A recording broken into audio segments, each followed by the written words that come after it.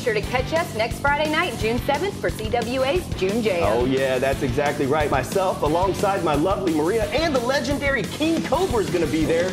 It all happens at the Levon Stone Don Bass Arena. Doors open at 6 p.m., bell time 7.30. Come out and see live wrestling action. And did you see Dutch Mantell is coming to Memphis? I can't wait for that. right now, I'm headed out to Saddle Creek Saturday to get an early start on my Father's Day shopping. We will see you all next week.